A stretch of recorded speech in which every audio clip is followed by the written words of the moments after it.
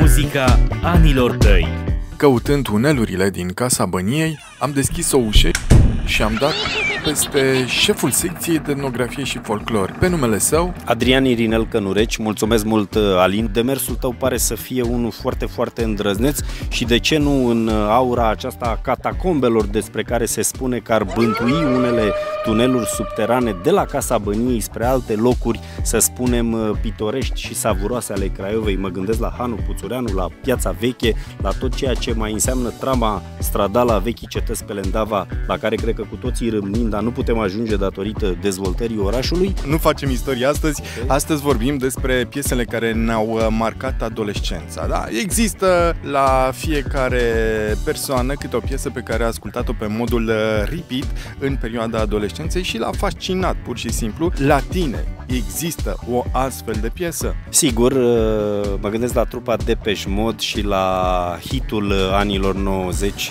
Enjoy the Silence.